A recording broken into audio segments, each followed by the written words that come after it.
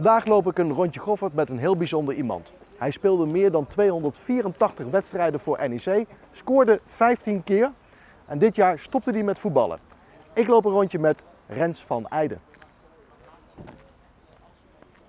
Rens, eh, ja, we zitten in mei 2022. Je hebt eh, afscheid genomen van het betaald voetbal. Eh, maar laten we eens even bij het begin beginnen. Want je begon ooit met voetballen. Volgens mij was dat een os bij de F'jes ergens. Klopt. Ja, we begonnen eh, natuurlijk eh, op het veldje voor de deur. Eh, op een gegeven moment ben ik van Rosmalen naar Os verhuisd inderdaad. En daarin ben ik eigenlijk gelijk het eerste jaar bij, bij Magiet eh, gaan voetballen. Eh begon als spits en uiteindelijk zo ook een aantal jaren doorlopen. Was groot, sterk en ik scoorde veel. Dus op een gegeven moment ben ik gescout door PSV. En toen mochten we met busje naar Eindhoven. Zo, dat was denk ik wel een, gelijk een hele stap hè? Als je het grote PSV voor je komt. Eh, zeker, zeker. Ja, je mocht eh, toen de tijd eh, werd je ja, soort gescout door de, door de buurt. Mocht je voor het regio-team voetballen en daarin ben ik uiteindelijk gescout voor PSV in Den Bosch. Ja, toen was de keuze natuurlijk makkelijk. alles was eigenlijk fantastisch geregeld. Werd opgehaald met een busje. En vanaf mijn dertiende dat ik naar de hogeschool ging, ben ik uiteindelijk met trein gegaan. Nou, de jeugd doorlopen bij, bij, bij PSV. Een stapje hoger, een stapje hoger. En dan komt het eerst een keer eh, in zicht. Ja. Hoe ging dat? Ehm, tja. Ja, je- het is wat je zegt, hè. het is elk jaar eigenlijk vanaf je twaalfde is het een, is het een afvalrace. eh, waarin eh, elk jaar je te horen krijgt of je door mag. En ja, het ging elk jaar eigenlijk zo goed dat ik ehm, ja, steeds door mag. En ik had een aantal jongens voor me die, die bestempeld werden als grote talent. Uh, waaronder Dirk Marcellus, uh, Aysati op een gegeven moment, uh, zat natuurlijk eh, net voor me. Ehm, ja, alleen elke keer was ik ook wel degene die, die mee mocht aanhaken. En eh, het heeft uiteindelijk eh, mogen resulteren in een heel mooi eh, debuut. En eh, daar ben ik eh, extreem trots op. Ja, wie was toen de trainer bij PSV? Dat was Ronald Koeman. Maar die eerste wedstrijd bij PSV, die kun je denk ik nog wel eens goed herinneren. Zeker. Zeker, ja, het was eigenlijk mooi, want ik eh, speelde een toernooi eh, in het buitenland. Ehm, zegt de trainer van hey Rens, eh, ga je niet opstellen, want eh, eh, je gaat mee naar het eerste. Ze hebben gebeld, ze zijn blessures en ze willen je uiteindelijk in Liverpool hebben. Dus toen heb ik mijn koffers ingepakt en met, met mijn je tenen heb ik daar... eh, van, is dit, droom ik dit nu? Of? Nee, nee, was uh, tuurlijk.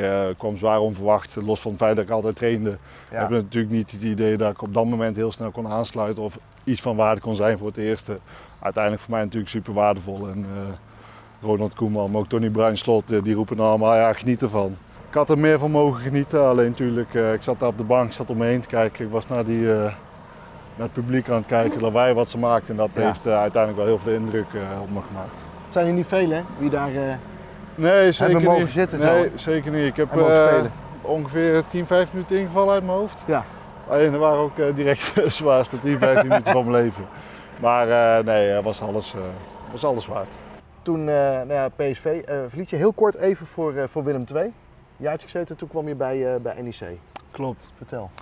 Ehm ja, NEC was op dat moment eigenlijk ook al een optie. Ze wilden me graag eh, huren. Ik had toen de keuze geloof ik tussen RKC Willem II en eh, NEC. Ja, ik wist op dat moment eh, dat Wisgrof en eh Pothuizen en Zomer voor me zouden staan. Dus ik had Mhm. niet het idee dat, dat ik veel kon gaan spelen. Ik de keuze heb gemaakt voor Willem II, omdat ik daar meer kansen zag. NEC kende je natuurlijk wel. Als je het OS eh, eh, bent opgegroeid, dan ken je NEC eh, wel. Wat wist je er nog meer van?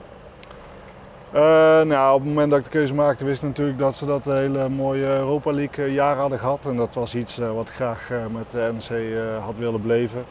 Ehm, ja, voor mij is NEC altijd gewoon een stabiele eredivisieploeg geweest die uiteindelijk met uitschiet naar Europees voetbal. Ja, helaas hebben we dat uh, naderhand niet meer uh, kunnen bewerkstelligen. Alleen, uh, nou ja, dat, dat, dat beeld was gewoon goed. Anders was, had ik überhaupt toen de tijd nooit keuze gemaakt. Ja, eigenlijk even die, die, eerste tijd bij, bij NEC. Ja, we, kunnen hadden... we die niet overslaan? nou ja, kunnen we die niet overslaan? Kijk je er zo slecht op terug? Uh, kijk er niet heel positief op terug, nee. Ja, eigenlijk vanaf de eerste wedstrijd uh, het vertrouwen gekregen van, uh, van Lodewegens, die, me, die ik natuurlijk ook een periode bij, bij PSV heb gehad. En um, uiteindelijk, uh, vanaf de eerste competitiewedstrijd, uh, begon het Foutenfestival. En heb ik gewoon niet laten zien wat ik kon. Daar had ik heel veel moeite mee. Ik ging er alles in mijn optiek op, op dat moment aan doen om, om toch tot presteren te komen. Dus ik ging leven als kluisnaar, omdat ik dacht als ik nu boodschappen ga doen word ik moe. Dus ik ging alleen maar op de bank liggen. Heeft totaal niet het juiste effect gehad natuurlijk. Alleen op dat moment zit je niet lekker erin en probeer je toch uit je sleur te komen. Ja. Alleen dat heeft uiteindelijk niet geholpen om, uh, om, om eruit te komen. Op een gegeven moment komt uh, uh, Pastoor naar, naar NEC. Ja? Einde, mei, einde van mijn tweede seizoen was hij al aangesteld en hij is toen een aantal wedstrijden komen kijken bij, bij de belofte. En toen heeft hij eigenlijk daarop de keuze gemaakt om, en natuurlijk NEC ook, om, uh, om zomer te verkopen aan Heerenveen. Mm En mij, in mij het vertrouwen uit te spreken om uiteindelijk uh, met mij door te gaan als, als, als centrale verdediger. En dat hij ook vertrouwen in zag om uiteindelijk mij weer uh, ja, te laten spelen in, in het eerste. Nou, dat vertrouwen heeft me goed gedaan en dat jaar ben ik uiteindelijk ook speler van het jaar geworden. Ja. En naderhand is er een periode gekomen inderdaad dat het verhaal Moskou nog is naar voren gekomen. Maar ik zal je verklappen dat er in die tussentijd nog wel een paar ketsers zijn geweest. Waarvan we dachten dat er mogelijk wat zou spelen. Alleen uiteindelijk nooit, uh, nooit. concreet is geworden en ook nooit naar buiten is gekomen. Dus dat is... Ja, zat daar een, een, een, club bij dat je denkt, oh nou had ik heel graag wel willen spelen. Zeker. Ja? Zeker. Durf je hem nou te noemen?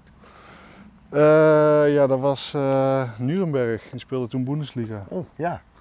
Dus dat was wel een mooie stap geweest. Ja. ja. Op een gegeven moment um, maak je toch de overstap weer naar een andere club. Want je gaat naar AZ. Klopt. Ja, je weet uiteindelijk je, hoe ik altijd naar heb gekeken. Je hebt natuurlijk aantal aspecten waarop je een keuze baseert. Ja, op dat moment gaf AZ mij die zekerheid om op een hoog niveau te spelen, stappen te maken, te ontwikkelen, professioneler. Ja, en ik kon daar op dat moment de transfervrije stap heen maken. En, uh, als ik dan weer uiteindelijk het rijtje afga met uh, financieel niveau, ja. uh, stad, ervaring, et cetera, was dat voor mij op dat moment de beste keuze. Het lukte niet helemaal wat je denk ik in gedachten had daar hè? ja, dubbel. Eerste jaar heb ik eigenlijk hartstikke goed jaar gehad. Eigenlijk bijna alles gespeeld. Ja. Europa League gespeeld. Ehm, ben aanvoerder gemaakt. Klopt. Ehm, alleen ehm, op het einde van het seizoen ben ik geblesseerd geraakt. En Ja. op het moment dat ik in het begin van het tweede seizoen terugkwam van die blessure, na twee, drie weken voorbereiding, merkte ik dat alles anders was. En eh, uiteindelijk is er eh, vanuit AZ gekozen om eh, andere trajecten in te gaan. Natuurlijk, de manier waarop dat op dat moment gaat, was ik niet helemaal tevreden mee. Zij waren ongetwijfeld ook niet blij met mij. Wat ik gewoon zelf prettig had gevonden is van Rens, we maken een andere keuze, we waarderen je, je bent aanvoerder geweest. We weten dat je goed in, in de groep bent, we weten dat we altijd op je terug kunnen vallen. Alleen de kans is waarschijnlijk aanwezig dat je weinig tot spelen toekomt. Ik ging vragen wat is nou aan de, aan de hand, wat kan ik doen om uiteindelijk wel weer te spelen. Ja, de eindstand heb ik daar nooit echt antwoord op gekregen, waardoor het uiteindelijk ook is, uh, is gebotst. Alleen uh, verder no hard feelings. Uh, ik heb daar een hartstikke mooie tijd gehad. Ik ben blij dat ik de keuze heb gemaakt om AZ te gaan. Ik heb, ik heb hartstikke mooie wedstrijden mogen spelen, mooie Ja. ervaringen opgedaan. En uiteindelijk ben ik ook aan de andere kant hartstikke blij dat ik terug ben op het clubje. Maar je zegt, ben ik weer terug op je clubje. Is dit de, club voor je geweest die het beste bij je is gepast? Uh, ja, denk wel. Ik natuurlijk uh, laat vooropstellen dat ik echt al mijn clubs uh, hartstikke dankbaar ben voor, Mhm. voor de tijd die ik heb gehad. Als je over je hele periode terugkijkt, eh, wat is je mooiste wedstrijd geweest? Mijn debuut. Ja, En heb je dan eh, bij je debuut bij PSV of bij NEC? Want dat was bij, tegen eh, Feyenoord. Ja, klopt. De maakte ik fout. was niet Ja, eh, mijn, dat was niet mijn, denk ik de eh, beste mijn droom. Maar bij. PSV, ja. Nou ja, kijk, eerste wedstrijd Champions League, eh, Ja. kwartfinale, Enfield uit. Ja, daar zijn eh, natuurlijk slechtere affiches om, eh, om je debuut te maken. ja. En bij NEC? Ehm, ja, overwinning op Vitesse, kampioenswedstrijd, eh, promotiewedstrijd was eh, fantastisch. Ja, wij lopen ook door. We zijn, hebben bijna het rondje af. eh rondje Goffert gelopen. Ehm, ja, en dan komen we op het einde. En eh, dan is misschien ook weer een nieuw begin. Want ja, je sluit nu iets af. Dus het is ook weer tijd voor iets anders. Zeker, eh, juist ook omdat ik het gevoel heb dat, daar, dat ik me daarin enorm kan ontwikkelen, is voor mij ook de keuze makkelijker geweest om, om te stoppen met voetbal. Ja. We beëindigen de carrière, volle vertrouwen in om het te ontwikkelen in een andere carrière. En daar heb ik, eh, Ja, en de andere carrière, eh, dat hoeft niet per se voetbal te zijn. Hè? ja, het kan alles zijn. Ja. Ik kan in één keer kiezen wat ik wil. Dat is ook wel lekker, toch? Nou, weet ik niet.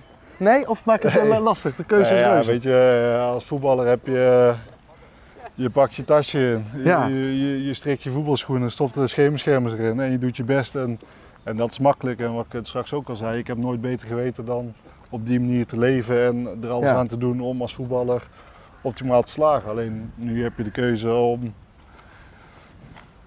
alles te worden waar je wil worden. En eh, ja, dan moet je een keuze maken. En eh, genoeg, eh, genoeg dingen om uit te kiezen. Ja, en die, en die keuzes die ga je ook hier bij NEC natuurlijk bespreken. Dat, maar dat kan overal zijn, dat is natuurlijk wel lekker. Ehm, ja, wij kunnen alleen maar zeggen dankjewel. Rens, Ja. voor alles hier bij NEC. Wij hebben genoten. Ehm, mooi moment eh, om af te sluiten, eh, denk ik. Ja. Ik, eh, En ik denk niet dat dit jouw laatste rondje Goffert was, hè? nee, zeker niet. Ik zal hier nog wel vaker komen. Dankjewel, Rens. Geen dank.